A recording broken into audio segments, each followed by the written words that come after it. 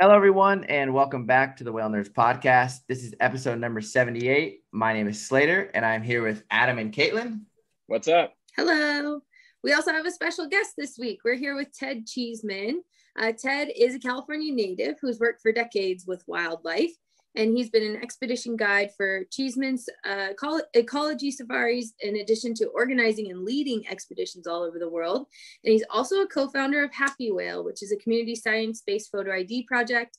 And it's a database and matching system, which we talk about a lot on the podcast because we're huge fans of Happy Whale. And we're so excited to get to talk to you, Ted.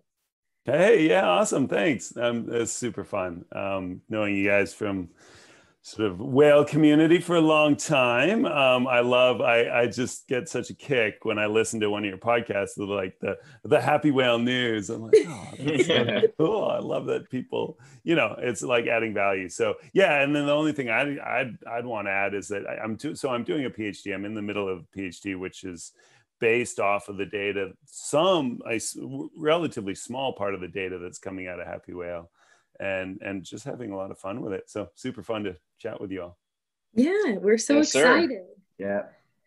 I think one of the questions that we always ask guests, and it's a question that we get asked a lot um, from new followers to the podcast, is how did you first become involved in the marine field, so to speak? I mean, everybody has such a unique story about how they got into whales or whatever they do with the ocean. So I guess that'd be that'd be how I'd want to start off with you is how did you get involved in the marine side of things? Sure. Um, so my father was a zoology professor, and my mother was like super avid bird watcher, nature people. They my mom's story is like, oh yeah, he was the first guy I ever met who owned a bird book. Like that's why she found so total total nerd. yeah, nerd credentials from before birth. I love it. Um, but um, but yeah, so my and my father studied. I think uh, marine you know, marine mammals were was his true love, but he taught ecology, field biology. And so, and then I grew up with them leading safaris. So as a kid, it was like summertime going off to, you know, Africa and whatever. And, and, and um, it was kind of pretty unusual childhood.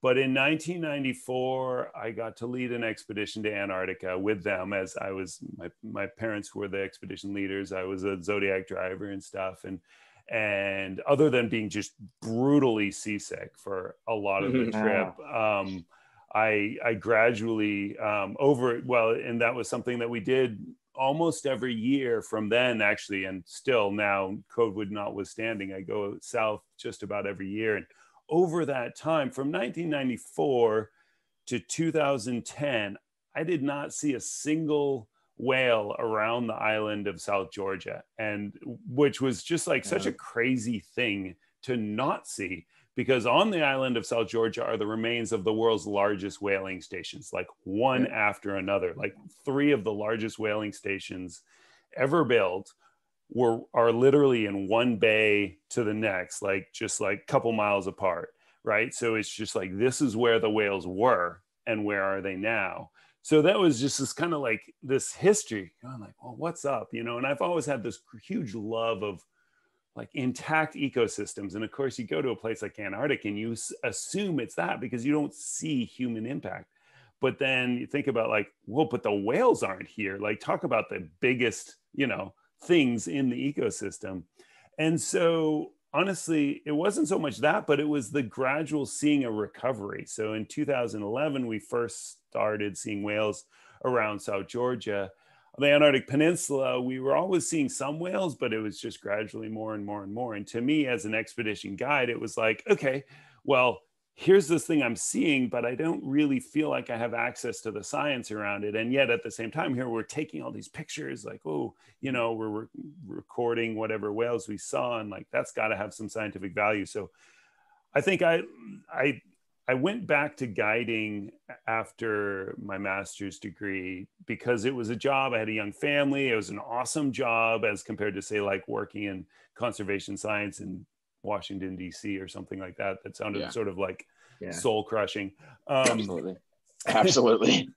Everything that had to do with whales, right? So it was like, ooh, I can go to Antarctica and all this, and and but I always had this like, I want to get back into science, and so this this idea, honestly, it wasn't like, ooh, I'm going to get into science. It was like, I just want to do this thing. I want to try this.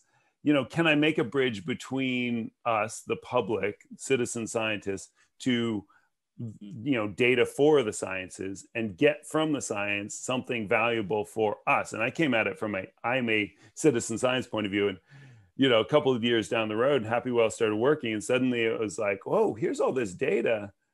We need to you know and some folks were using it cascadia um, john Calambokidis in particular was quite receptive to this kind of new source of data coming out of the um, tour operators, whale watch operations that they weren't getting data from and such. But um, but it was just like, whoa, you know, here's a lot more that's accumulating. And um, Phil Clapham, I don't know if you're familiar with him, but mm-hmm. just super, yeah, I mean, awesome scientist for for many years. And we, um, our data manager gave him at the time gave him a demo of our of the the matching tool we had, which was far less accurate than what we have now and he sort of got in touch with me and like gave me this big verbal smack that was like okay citizen science is cute but this is a research tool could you mm-hmm. please use this for research and get researchers to collaborate with this and yeah. that was and and it was kind of through that it was like this conversation and then like that was like on a thursday and by monday i was enrolled in a phd program and i was kind of on tuesday going what, what did I just commit to? Like, yeah, would you sign up? Where did that come from? Yeah, totally. So, but uh, yeah, yeah. So it was kind of a accidental, um, but it's been so inspiring and ever since. Yeah. Cool. So it kind of all like came together. The marine reignited passion for you, Happy Whale, all of it kind of molded together after seeing all this progress in Antarctica with whales. So yeah, that and getting over seasickness that was huge. totally, like hey, that's a lucky thing, right? Well, I mean, yeah, the Great no, Passage is pretty intense. Yeah, I hear it's pretty bad getting down there. You know, I think the worst in the world is trying to get out to the Farallones personally. but uh, true. I oh, mean, man or you know it's just like monterey on a on a on a bad day versus yeah. like oh all week. Yeah. I know you guys who do those afternoon trips man. I'm like morning I mean, awesome morning. Yeah morning yeah, trips i'm like a i'm like a 8 a.m to uh, 11 now. I wish people would have believed me all those years that i answered the phone there and was like, please go in the morning because I feel like we just torture them every afternoon. Well, and the best part, it seems like it's like the people that don't want to go in the morning want to go in the afternoon because they're up drinking the night before. Yeah, and that yeah. just makes like, it way worse. That's gonna work out real good for you. Yeah, that's whale watching. I know. Right? Yeah, they're yeah. like, oh, we don't want to get up that early. I'm like, you really do. Okay. Yes, you do.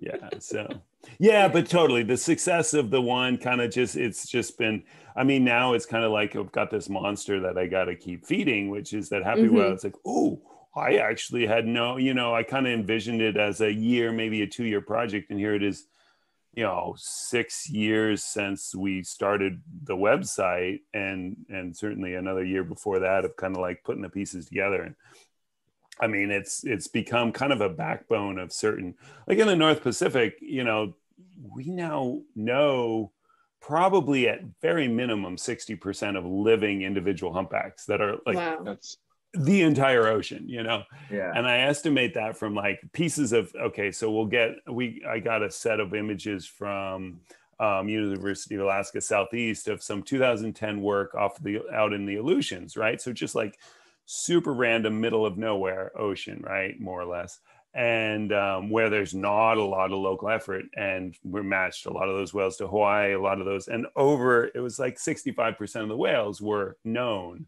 oh, right wow. and the other but whereas here in monterey I, like if i get a good photo i'm like wait there's no match what is is there yeah. something wrong like of yeah. course we know this whale you know it's still probably 20% of the whales here we don't know but yeah that's mm-hmm.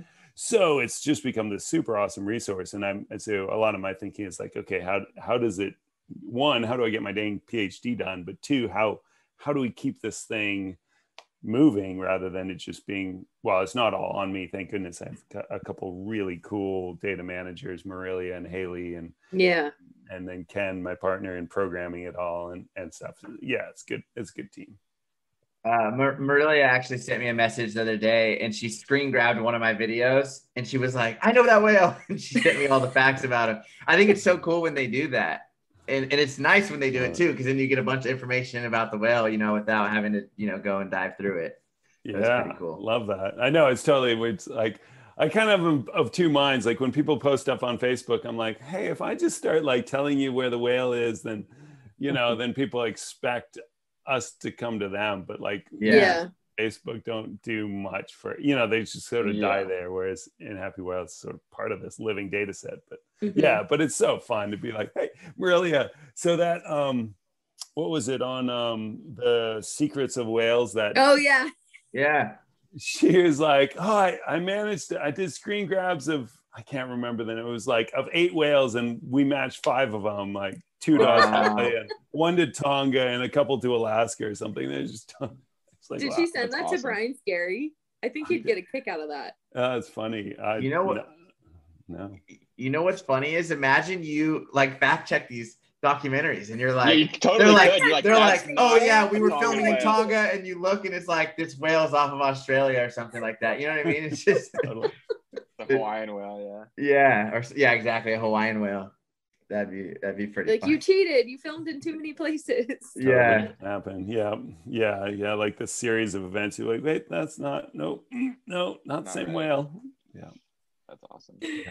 So I kind of I don't know. I envision like how I would tell people in one sentence. Happy Whales like a platform for whales to tell their own story, um, because it has like you know it tracks the whale over time and people can follow the whale. It's like social media for whales, kind of. Um, but I guess what would be like what are some of like your favorite things that have come out of Happy Whale as far as like people making connections or um, researchers getting you know better resolution on data sets or things like that I love that. Honestly, happy whale. The whales tell their own story. Like you know, one could flatter oneself and and and imagine them caring. You know what? Yeah. what- Yeah, exactly. But no, but that's so cool, and it's it is. You know, so so there's some are the two places that we know in most detail are coastal California and then southeast Alaska, the inside passages, right? And especially the further you get kind of into the inside passages like Juneau, you don't have a huge number of whales and there's a lot of site fidelity. And that's one that there's a whale named Flame who showed up with her third calf in three years. wow Yeah, I heard about that. I heard about that. Yeah, Whoa. That's crazy. right? Wait, she, So- she showed up with the same calf for three years. No, No, no, no, no. Three Three- different. Oh, different new. Okay, wow. Yeah. And we thought it would be like every other year, right, for humpbacks. Exactly. But three in three years is pretty incredible. yeah so i mean first there's there's this there is the you know just being able to track that and of course people do quite a bit right? But then to be able to like so i go in and there's you know 100 and well there's there's a there's data in Happywhale is a bit complex and there's some research data that's not totally visible but i see you know and i think so i think publicly visible there's like 170 encounters or something of flame and almost all of them are right in juneau. One is way south and up in british columbia relative to wherever she is otherwise. And then five are in hawaii and that's super cool because up until recently it was like oh flame disappears. Where does she go? Somewhere. You know it's from southeast alaska you assume hawaii but it's not guaranteed. Um, but that one i guess kind of the little bonus of it is like i was just looking and there's a there's there's a handful of researchers who you know they can ask me like hey what's this detail? But there's also like the comment field on encounters. And then they you know and the more engaged users someone makes a comment they get a notification hey there's a comment. And and so you get this like it's a way for the researchers to reach out and one get data about things that they care about Mhm. um, and then two to be able to you know conveniently interact with folks without just the like email crush of uh, you know trying to reach all these different folks or whatever. I mean i like that standardization but yeah um but yeah okay so what's my favorite thing? My single favorite project that's going on right now there's a lot of things that have been talked about and we'll see what happens but there is this project going on right now um, it's university of hawaii hawaii manoa um, lars Bejder and martin um, van Aswegen, um, pacific whale foundation alaska whale foundation so a whole bunch of people involved. But what they're doing, Martin is doing his PhD, taking um, taking using drones to go and take body condition assessments of the whales, and then they're taking photos of the whales at the same time. They're also doing some biopsy sampling, but it's a lot easier to get. Um, get uh, photo ID than to get the biopsy. So then we take that photo ID and match it to wherever else we've seen the whale, and they're getting samples, body condition samples of the same whales on the breeding grounds and the feeding grounds, and, the feeding and then grounds. progressively through the seasons. So it's literally, and especially for the mothers and calves, watching mom grow on the feeding grounds and then shrink on the breeding grounds, breeding grounds. Wow. and then babies growing. And so, like, he, he, when we talked towards the end of his Hawaii season, when he was looking at stuff and just like the numbers, and the numbers of whales we're able to match instead of it being like ooh i hope we can find one or two it's like hundreds of whales.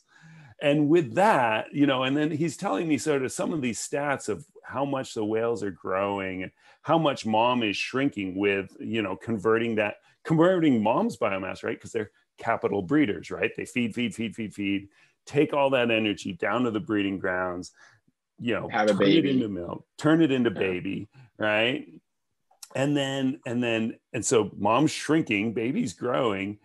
And then for mom to go back to, i mean this with flame for her to be able to you know conceive bring to term and and and then deliver the on an on an already Three. like used up budget totally and that's what martin was saying and i mean I, you know i don't know the details of his his his findings so far because obviously it's unpublished yet but it's just this like the mom's body after a year of feeding baby i mean it, yeah it's a level of demands it just boggles my mind it's incredible. So, yeah you know, i totally have, I can't wait to see those papers and actually have those numbers. Of yeah, like, that's gonna be awesome. Hundred pounds of mom makes how many pounds of baby or what? Yeah, exactly. Yeah, we got a little like teaser from Pac Whales Research Department oh, where cool. it's suggesting awesome. like that third that. of the body weight number is actually an underestimate for a lactating Seriously? female.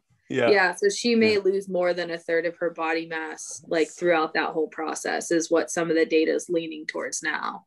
That's which is so crazy to me. Like that's nuts.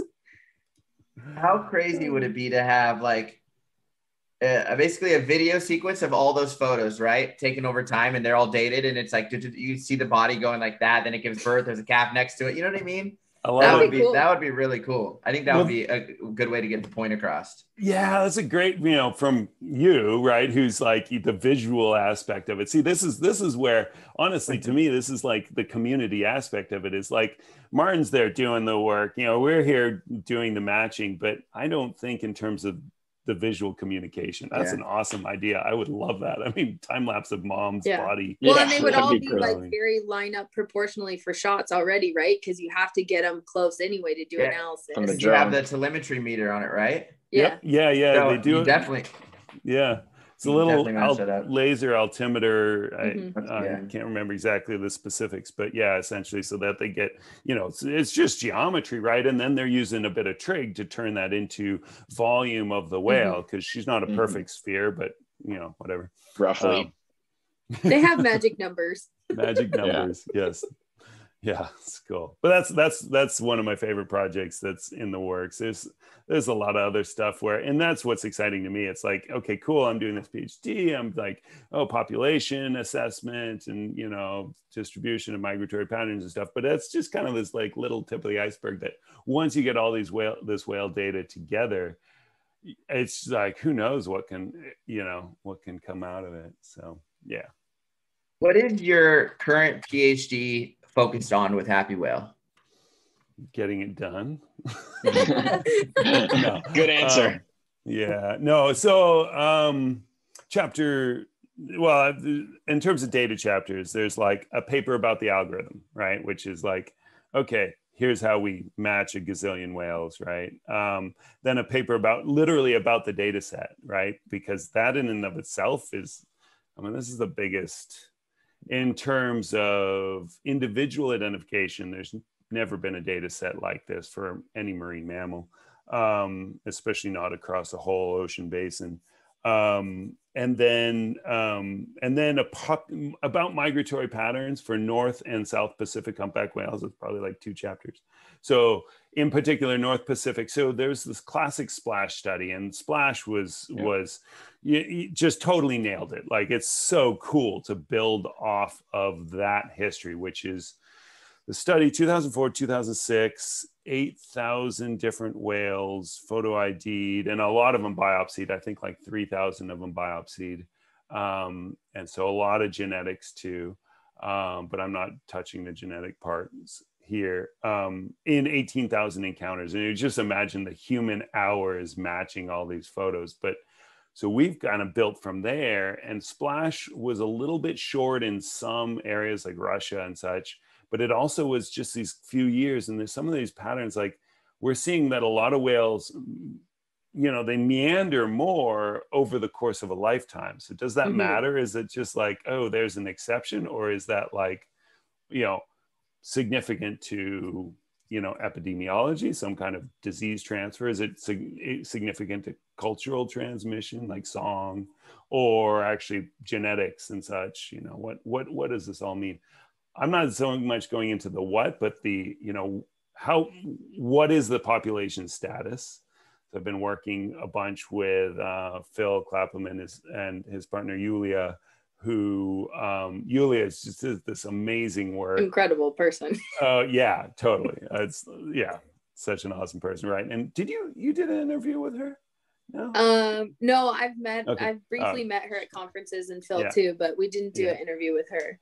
So her PhD was digging out all these, and I love it. There's all these great stories like records of illegal whaling that were hidden in a potato shed, you know, during wow. the, the, the, you know, the Cold War, war era, but literally translating all these Russian documents and showing us, gee, why is it that these population models aren't matching what we, what we're seeing? Well, because the population models are based on this many whales killed, but actually there was you know, an extra however many tens of thousands killed by the illegal Russian whaling campaign. And bummer mm. at that. I mean, I don't want to point fingers at Russia's because we we had our own whaling history and it was absolutely know, huge impact. But um, but um, so like what migratory patterns do we see in the North Pacific? What migratory patterns do we see in the South Pacific? Um, and and then and then what's the status of populations?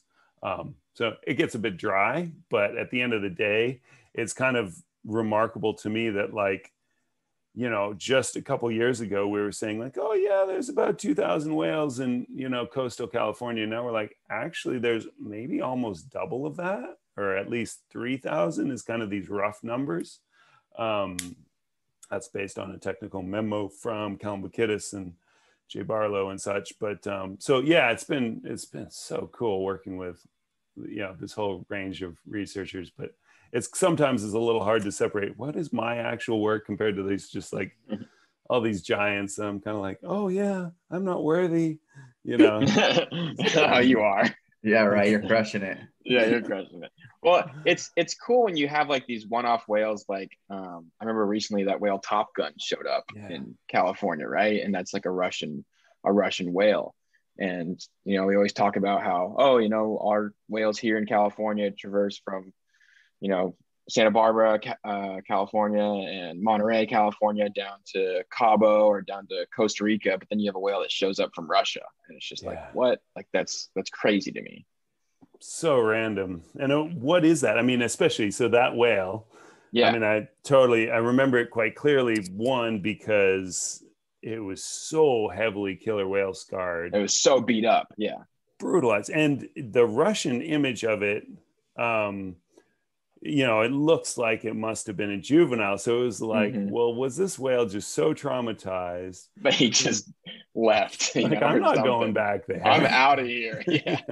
yeah. little little to know. Yeah, we unfortunately killer whales here too for them, but but you know, but I mean, so and it's so funny, right? So Cabo, it's like LAX for whales, right? They're just going yeah. everywhere. But very clearly, if you're a whale from Central America, you might go through north northern. If you're a humpback whale, from might go through northern Mexico. You you you're likely to go by Cabo, but you're almost certainly only going to go to California, maybe Oregon, right? And especially more Southern California, it seems, right? Whereas another whale passing through Cabo, there's a lot of whales that go from there to Russia, which is something that Splash didn't much pick up. And it's really, it's just like, why would a whale from Russia it's come all crazy. the way? Yeah, right. Gray whales do it too. Sure, sure.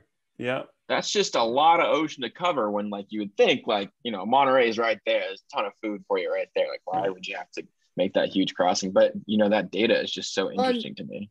Why didn't you stop in Hawaii? Like yeah, exactly. For breeding, totally. yeah. Halfway. You could actually probably let Well, that's that's another thing that is I love about Happy Whales the stats, the stats page, the stats, and yeah, so you click individuals, awesome. and, and not only can you see how many people are helping you and like the top contributors, but then the individuals of the whales, like the the top one, the furthest traveled, the one that's uh, between Russia, Mexico, and what is it? Um, Freaking Marianas Islands, yeah. Yeah, Mar- yeah, that's, that's ridiculous. what? yeah. Why, why didn't it just go like what? why do you do what you do? totally. So are you working on anything um in particular with like California coastline stuff with humpback whales with for your PhD, or is that just like a, another interest through Happy Whale? Uh, yeah, absolutely. I mean, so there's the places that are super well documented that give us the chance to to to do a few things. One is like if we have this so well documented here, you know, there's like this concept of oh, what is oversampling? Like, it, mm-hmm. is there a point at which it's just like uh, who cares about the next data point like is that just too much data or not um, and this was kind of a surprise is like when i started just digging through all the data like taking every photo that i could get from um, from monterey bay you'd expect that after however many hundreds of whales that it'd be like okay you're only going to be seeing the same whale and we kept seeing more and more and more whales mm-hmm and that was that was that was kind of a surprise, a bit of a shocker. Um, in that, you know, you have like with they have a lot of site fidelity, right? If you're back in Moss Landing or you're back in kind of these, especially it seems like more complex geography feeding areas, you get more of the same whales, but then but then there's these cycles of whales coming through and i think mm-hmm. especially mm-hmm. like these whales that feed more on the um, the continental shelf or feed more out the Farallones or more kind of open ocean conditions. And then a wind event comes and then a whole bunch of them come into Monterey and you just see different whales all the way through. But my real interest here is a couple things. One is like, if we can document these whales really well, and then we could like take this data set and tear it apart, tear it down and say, okay, well, okay, so based on seeing this many whales, we know in fine detail with strong confidence that this is the size of the population and so on and so forth. Then you go over to say, I don't know, um, you know, outer coast um, oh say say like northern northern british columbia for example is an area where there's kind of a gap that there's not a ton of data right there's some there's some or like western alaska where there's some big gaps there are aleutians huge gaps um, and and so if you say like okay here we've got this incredible data here if we break it down to just those little you know much smaller data sets at what point does the resolution fall apart? So it allows mm-hmm. us to say okay well you know here's the whole of the ocean. Can we kind of like model around so that we can understand year by year um, what's happening with the population? So for me the really interesting stuff starts to be like okay you know, we are urbanizing our oceans with ever more, you know, marine traffic, with fishing gear, with I just saw that there's a, you know, proposal for wind farms on the California coast, so on and so forth. These things that, you know, for good or bad, they are happening, right? So, at what point do they genuinely change the habitat for these whales? And then, obviously, climate change.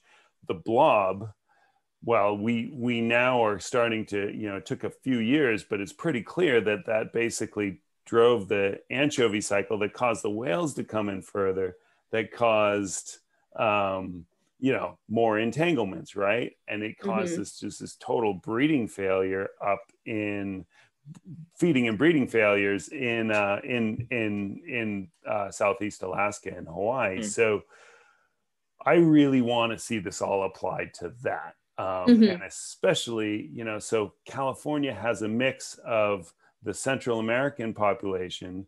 And this these these population designations, well, they're they're they're problematic, but in concept, there's the Central American whales which are deemed endangered and then there's the Mexican whales that are deemed threatened. And mm-hmm. we have a mix of them in California. It seems like maybe 25% of our whales would be considered at least Southern Mexico or Central American. Well, those whales are living in some of the most urbanized and heavily pot fished waters anyway, mm-hmm. right? Yeah. So it's like, are they not recovering in Central America because of ship strikes or entanglements? or hmm. something hmm. happening down in Central America? Like, yeah.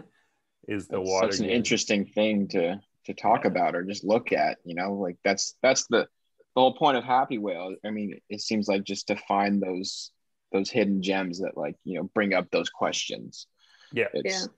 it's yeah. pretty and awesome. and it's we know for sure that it's a separate population, or is it just the population is trickled further down over time feel like it's a very gray area. that's such yeah. a good question. Yeah. Well, and that's it. It's it's kind of this like, and it's a funny one too, because then it gets political because yeah. because because it's an endangered species listing. Like one whale from Central America showing up in an area, suddenly it's like, whoa, that's an endangered humpback whale. But another whale, especially like if it's a whale from Hawaii, oh, that's a fully recovered whale, no problem. So that totally changes, especially in the federal context, right? If it's mm-hmm. a federal rule, something like a, you know, an interstate or dredging project or something that requires federal permitting, totally different context if it's a fully mm. recovered well. But yeah, so I'm not, I mean, some of this stuff, it's like I have some ideas about, and but there's a lot of other uh, researchers I'm working with, and it's kind of like their project. So, but mm-hmm, I'm yeah. seeing there's something different about the Central American whales um, that that makes me think that. Well, first of all, it's not that they've just trickled down, and certainly not recently. Like historically, yeah. they were there, right? And we don't really know how many of the Central American whales were the ones that were hunted because the whaling wasn't there. Mm-hmm. So you mm-hmm. have this problem of like, okay, if so many whales were killed, you know, in coastal California, how many were Central American? How many yeah. is it the same proportions? Yeah. Um, yeah. But yeah, I mean, to me, you know, you're totally right, Adam. There's two parts to this. Um, one is, um, you know, is this is like, can we can we get enough data together in good condition that we can start to really have resolution from that? And then the other part to me is just like the accessibility. Can we do it, make it in a way that folks like yourselves are just like, oh, cool. And here it is right at my fingertips so that it's not mm-hmm. like abstract and in some, you know, peer reviewed journal that, yeah, Caitlin, it's awesome that you read them, but the rest of us are just kind of like, uh, and I just, just read the abstract. exactly.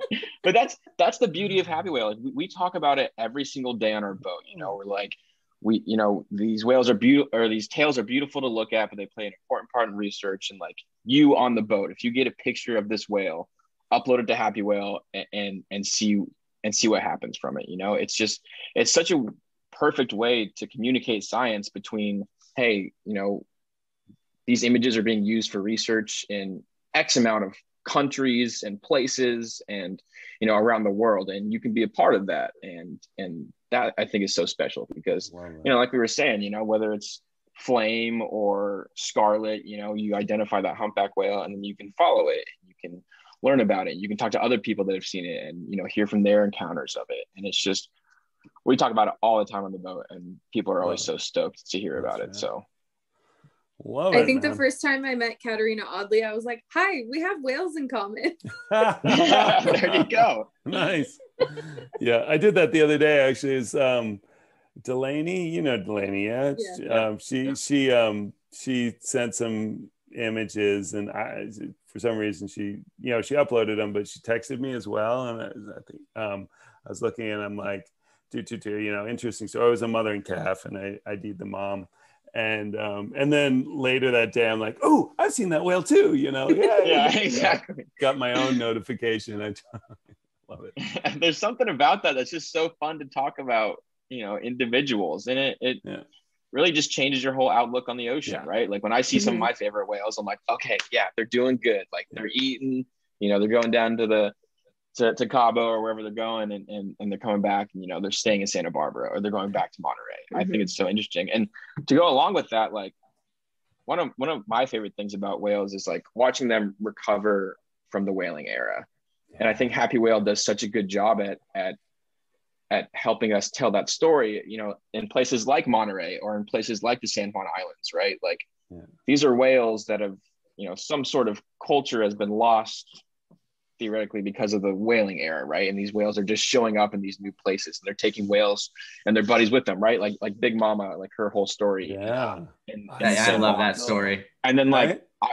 it's so cool. And then I I identified I worked there for a whole summer and I think I only got a couple of humpback of humpback photos, but I identified Frankenstein, who is a you know Hawaiian whale that goes to the San Juans. And I was just like, oh, that's so cool. Like I've never been to Maui, but I have a whale that's been to Maui. So I'm almost there. I'm so I have there. a question about, you know, like other so management, right? That's a tricky thing. And is Happywhale now going to be a tool that researchers use to help, you know, inform the latest stock assessments and and give that to management to make decisions about, you know, are we if we have Central American whales in California, how does that affect endangered species considerations, that kind of stuff? Is is that a tool that Happywhale's um, providing to them? Totally. Yeah. Yeah. Very much so. Um, I mean, it's it's sort of early days yet in terms of it getting to that place, and part of that is like a sense of legitimacy. Mhm. Um, part part of it is having the actual data, and then ano- another step is like people recognizing that hey, this isn't just you know there's this there's this um, kind of this uh, context or this assumption that citizen science data is just a mess, right? Or it's just like, oh yeah, that's cute and fun to do, but is it really something? Well, here, actually, in the North Pacific, the majority of data in here is is research collaborator derived, um, but it's really, really supported by you know, it's like if you go from one place to the next, Monterey Bay or coastal California, it's mostly from, you know, contributors such as you know every whale wa- uh, watch Mhm. operator is it, to me that's just such a phenomenal resource because we're out there day after day It after is. day Yeah. right and that's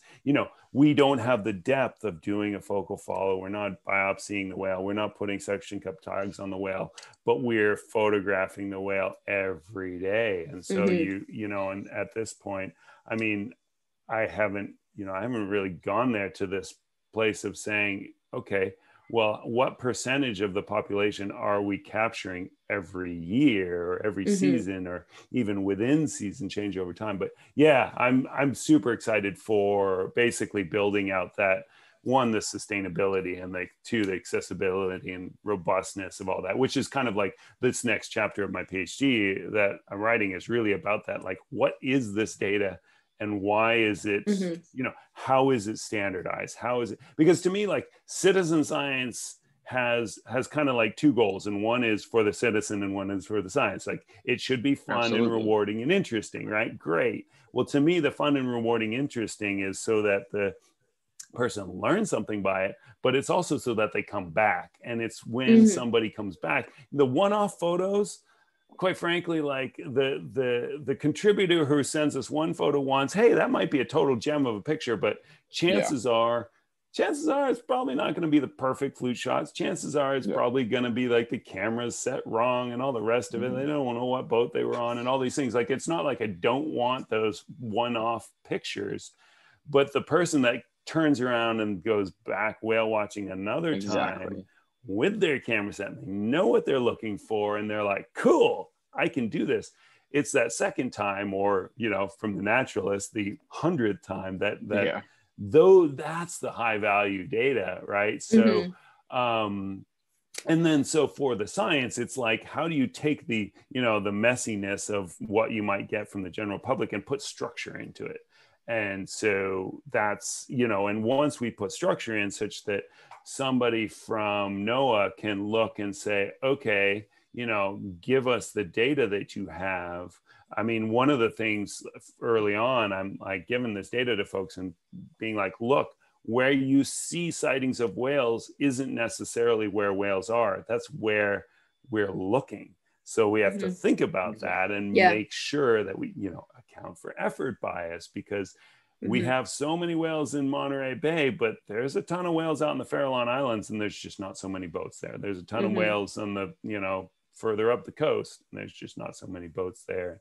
Yeah. So on. Um, so but yeah i mean that's it's you know where this all goes i don't know because in five years if it's still me sitting here going every week like okay you know is there anything like super spurious and if it's yeah then you know that would be a failure to me. It's like this has got to go towards some kind of like institutional underpinning. I don't know what that looks like but um i mean mostly right now i'm focused on like really making making it you know just incrementally be a better experience and the tools more readily available like kind of like hint of you know foretelling or uh, foreshadowing is like i'm so looking forward to when when you upload the images you'll get a match right away right so it's yeah. just like you get to say yes this is correct no it's not correct or ah, i'm not mm-hmm. sure you know, mm-hmm. and then then you can be. I mean, I'm on. I'm out whale watching, and I photograph a whale, and I yeah. photograph the back of my camera. Yeah, I'm like, I've seen him do it. yeah, totally. And I'm just like, hey, folks, yeah, this whale. Well, so when you saw me do that later, since then, now, so then it took about about a minute and a half per photo yeah. it now takes under a second per photo. What? Like we just we wow. retooled the so the algorithm's just on it now. Oh, dude, so sick! It's so That's funny. Awesome. I literally it will ID 700 photos in a minute, right? Wow! wow. It's just like, wait, did that actually work? And yeah. this is against 50,000 known whales. So this is this is based on um, some some retooling of the algorithm that can um, you know my, my partner, the developer, Ken just finished like a couple weeks ago, a week ago, last week, something like that. two weeks ago because it was working when I was last out on the water. And it's just silly. It's totally silly. So I, gotta, I gotta have you do it on the boat again sometime here. Oh, totally. Man. Well, and so yeah, so like what I want to do is go from there and like, okay, so now we've got this working to build it out so that you can be there on the boat and you can send it in and, and so on and so forth is that's a goal. It's there's a lot of steps. We're actually ken and i are going to meet tomorrow to plot out what it takes to do that um that's but, so awesome. Yeah right. And even if you like let's say let's say you do you use your phone. It's it's like technically the app right? That you, you take the photo of it and you, you upload it and it scans it, it tells you who it is. Maybe it doesn't even have to submit it right then to the database and you can still do it at home on the computer you know get all the all the you know coordinates and all that. But at least you can be like oh that's fran and you know she was born, first sighting was 1998 or whatever it was yeah. right? And then you know you have a lot of info to go off it with as a naturalist too on the boat yeah. which would be you know that's really totally the goal yeah. So what i'm thinking is like okay so the idea is like it, you know honestly on on one side like if it was like oh just throw your images here and we'll tell you who the match is then it's like okay well then we you know then it's then we don't end up getting the the, the research yeah. product right? Yeah. So what i think we'll do is we'll set it up. Right now we have this concept of the advanced contributor which is like you go in you upload your photos and you like you build out the encounter. And in that mm. process you could do get a match and we'll have this whole kind of like it's like okay cool. You know you're doing it right cool we'll give you access as matching but then also we know if you're out whale watching and you're guiding and you're photographing and you want to be able to just tell people well you do it there and then and we'll give you access to that with the understanding yeah. that you will go in and do the yeah. the more full process later. Yeah. And that's you know that's kind of part of this balance of getting it right. Oh man, figuring out figuring out website interface. Maybe maybe it's a uh, it's a, a, paid for application for naturalists, one uh, like a one time fee or something. I mean, I would I would I'd pay I don't know how much I'd pay for it, whatever seems. I'd pay, I'd, I'd, I'd pay a, I mean, I'd pay 150 bucks for like a year of Happywhale or, or 15 bucks a month or whatever it is. I think yeah. something like that. I don't know. Something to be able to look at it right then. It, like, say, like on my LA trip, this June 18th, if, if there's going to be humpbacks around and it'd be cool to be like, yo, that's Theodore. Yeah. He was last seen in Monterey two years ago, you know? Yeah. yeah. I mean, on the East Coast, that's essentially what a lot of boats do now is they have their own in-house paper catalog on the boat right and it has yeah. first seen you know if they know if it's male or female um, some companies have like a calving history log and and then the naturalist delivers that information right there on the microphone yeah. Um, yeah. so to be able to do that anywhere in the world would be really cool it'd be a great asset for naturalists i think um, we don't have cell service on the bank a lot and so oh. the paper probably would still exist for a long time off the coast of massachusetts but in California, I mean, you have cell service pretty much the whole trip. So yeah, um, you definitely could use that as a tool. And those whales are not, I don't know, the site fidelity thing and like the big wind events that like it gets pretty messy to try and remember all these whales in your head as a naturalist in Monterey. That's been my experience.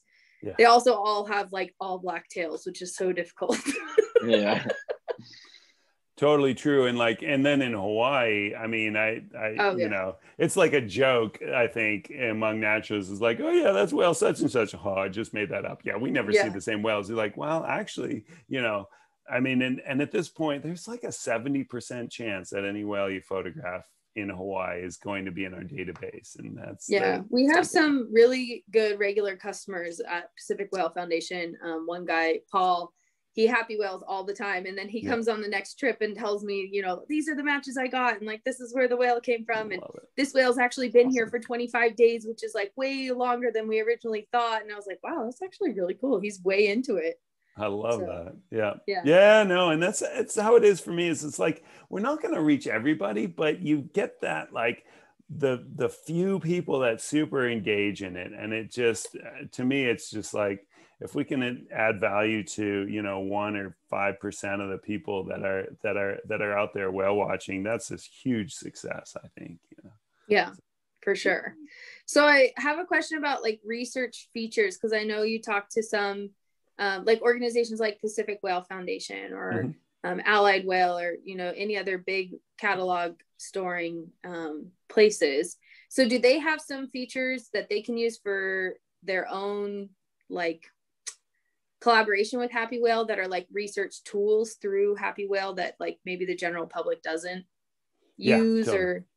Yeah. Okay. Yeah and that's that's one front of development. I mean essentially like initially this was just a service right? Send us your photos and we'll identify them and you know send back. And then and then more and more um, we're getting research collaborators where they have a data manager login and they're able to use the matching directly and set up data imports and do searching with more basically a broader range of tools. If you go to the browse page you got all these tools to search by various parameters but they there's a whole another set of tools for example.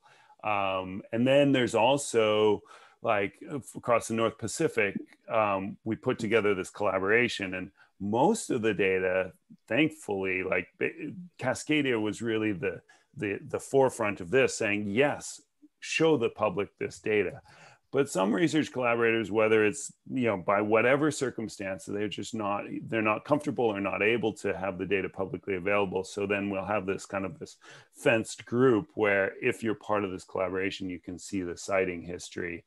And mm-hmm. everyone has agreed okay well if we see something in here public or not as if it comes from a collaborator we won't use it. We won't post about it. We won't whatever. We won't write a paper about it until we talk to everyone. So i think it's more collaboration is a, a concept and then supported by tools and there's there's so much to continue developing on that on that end but uh, but yeah, definitely. And PWF has been they've been they've they've kind of jumped on it from the front because I mean they're now our largest single contributor by like three times next. It's, it's well, like, I think it's like taken so much burden off the research team because I volunteer in there doing um, dorsal fin ID matching, oh, wow. and like that is so tedious because you just like you have two screens and you're just like click click click oh, that might be one. Click, click, click.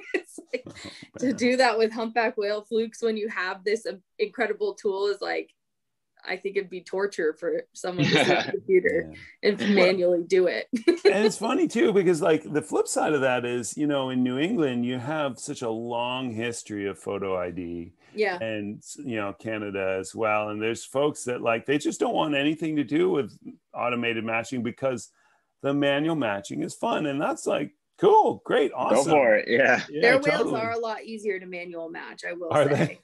yeah, they have a lot more like T1s and T2s. Sure. Yeah, it's more and, kind of a spread of yeah, yeah. Yeah. And they really have like these little pockets of incredibly high site fidelity. Like uh-huh. there's whales in the Gulf of Maine that are like only found on Jeffreys Ledge and only huh. found on Stellwagen Bank. And like it's like they're like, oh, Niles Old Faithful on Stellwagen. If there's no oh, other whales around, Niles gonna be there. And you're like, all right.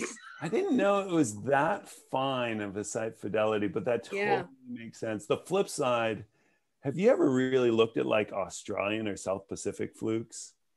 No, well, all the same. really hard too.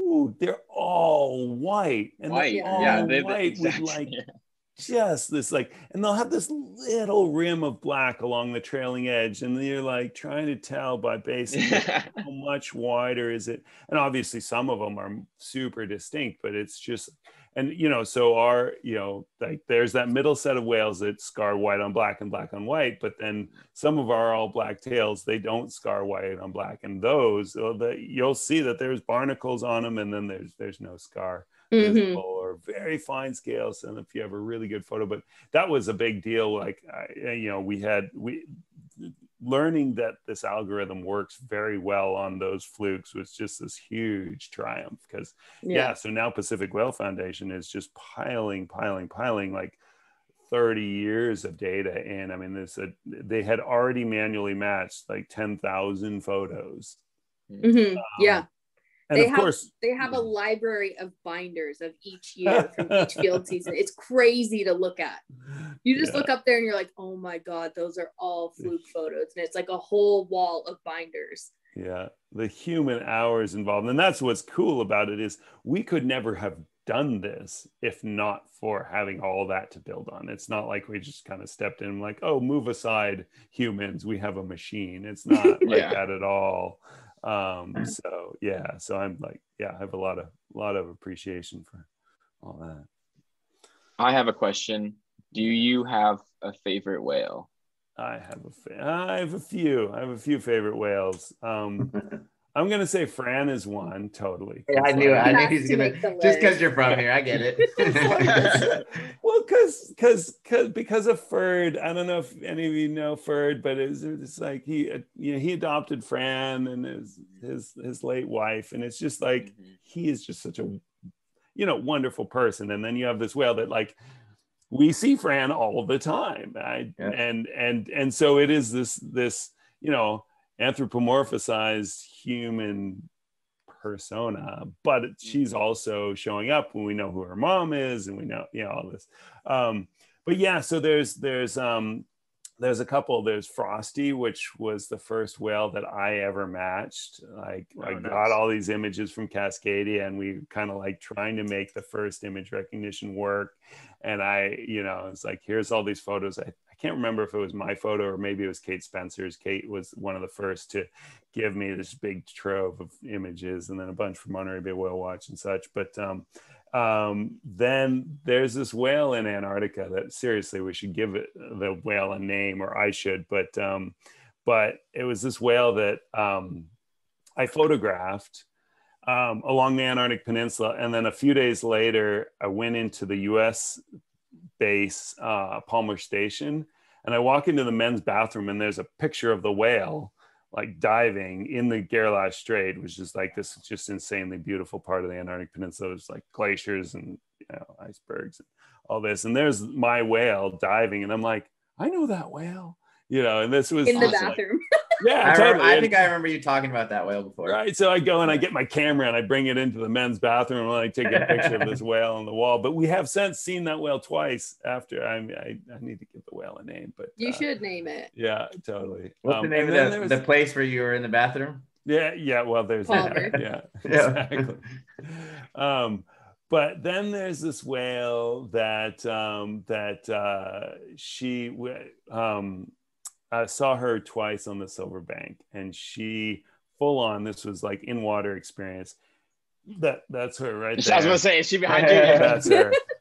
Full on would just like swim right up to you, and it's just like whoa, whale in my face. And uh, sorry, in 2006 and then in 2011, and it was just like the second time, this whale just comes out of the blue and just swims right up to us. And I'm like, whoa, what's what's up with this whale? And we actually, you know, the one of them, I never really got a fluke shot because in 2006 and 2011, I didn't, I hadn't even started this, but uh, we after the fact managed to figure out um you know you can't see the fluke shot in there but i managed to like rotate it and extract it and match her um and uh and and then there's one sighting of her up in uh in in newfoundland um, oh, cool.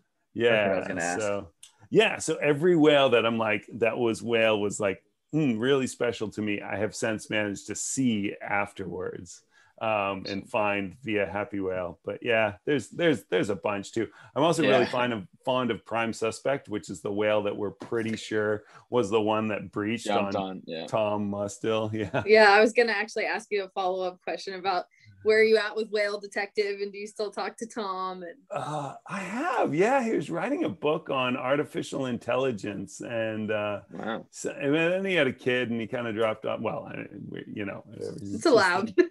such an exciting, excitable, and you know, and, and infectiously interested guy. Um, but uh, yeah, where is? Uh, let's see. I wonder if I've seen that whale. Prime suspect and prime I suspect. not. mom. A, I am not a contributor on it. oh, yeah, yeah. Me neither. Yeah. Oh, you haven't seen it either. No, no, but um, but we worked so hard to figure this out. I mean, Tom, first off, he's like, he shows me this video, and I'm like, you find this well? I'm like, dude, just get lost. like, Yeah. no, no, we Needle in a can't. haystack. This is ridiculous. It was such quality.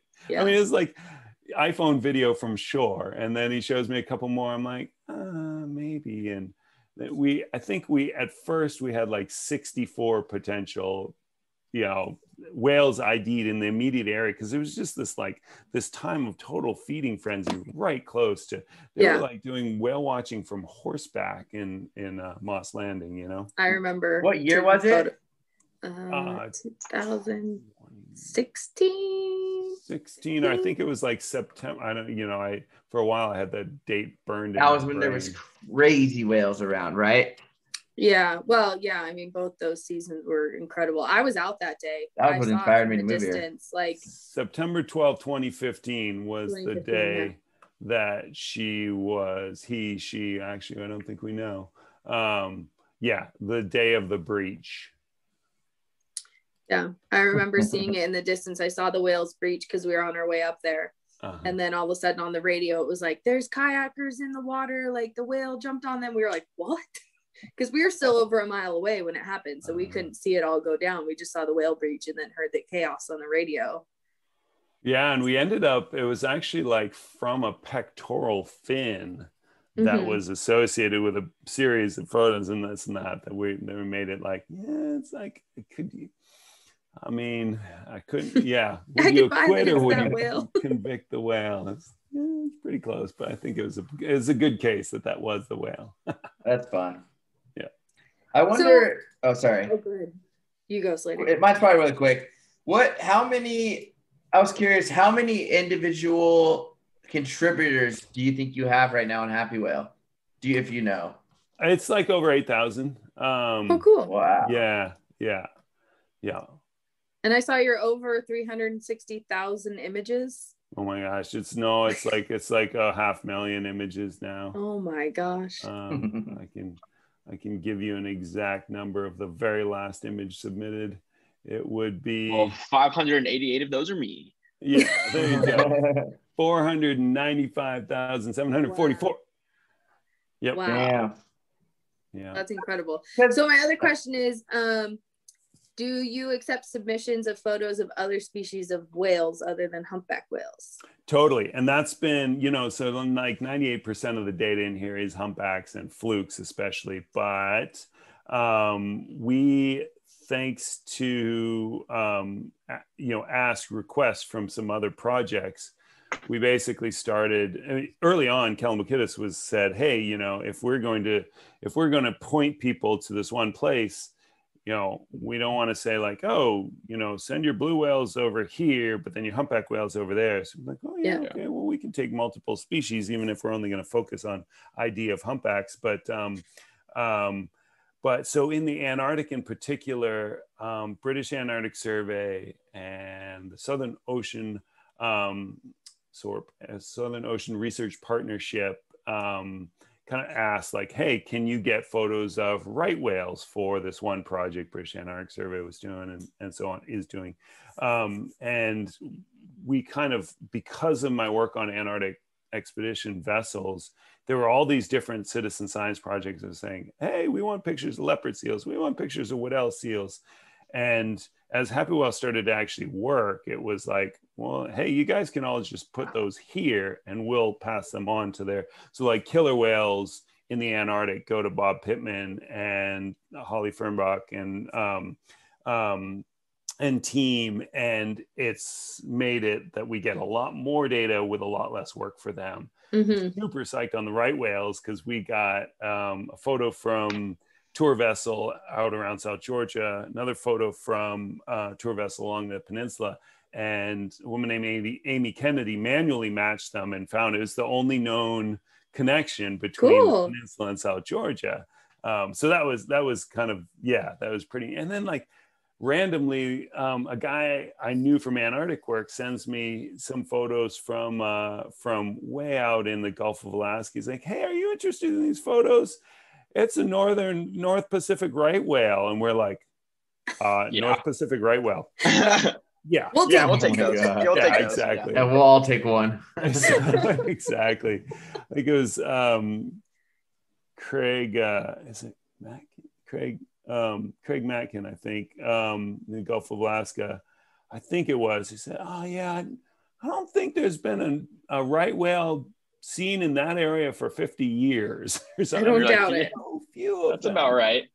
so yeah i mean so that's it's like this this there's this kind of like long thin tail of other species but it's Mhm. starting to grow so there's a right a, a, a leopard seal project that's using Happywhale and you know will this lead to automation i hope so totally you know the ability to basically get images in of species x and and match them um, and plug in a different algorithm that's not um, yeah technically it ends up being a, a bumpy road but super Yeah. psyched for it and it- it's really great to you know we built the information architecture absolutely should use it for for other uh you know other purposes and such So yeah. right now it's more like a, a database or like a hub to put stuff, but it's not the algorithm's only working on humpback whales. It's not working on anything else. Correct, correct. So we're currently building in uh, another another algorithm from a, a project in the in the Atlantic, and then we're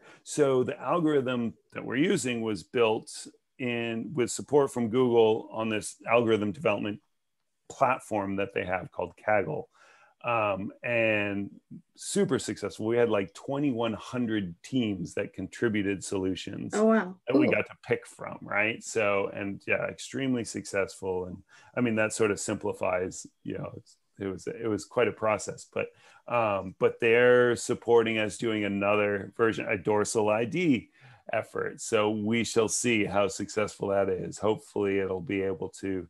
We've gotten, I think, our training set is like eighty thousand images.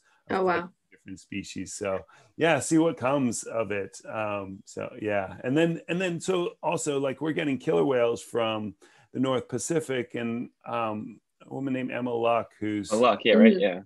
Yeah. yeah. So she's just been, we basically assign submissions to her when we mm-hmm. get, okay, so we'll set up the voyage and we'll set up the encounters. And then she goes in and she IDs the individuals and then adds the ID on there. So, you know, you've got the image recognition, but the the actual storage of the ID is something you can do manually, right? Oh, and then cool. a lot of times people say, oh, well, you know, in the comments, this is such and such whale, and we look at the dorsal, and then we'll look at the dorsal of, you know, another photo of the same whale and say, oh yeah, you're right, cool, put the ID on there. So yeah Well, that's good to know because I have like 50 different blue whales from last year that I've, I've sent to John. yeah, Um, but I'll submit them there as well. I don't know, you know, how likely it is that they'll get matched, but I mean, it's, it's so cool, you know, for an endangered species like the blue whale off of California, you know, that, that, that would be great information, I'm sure.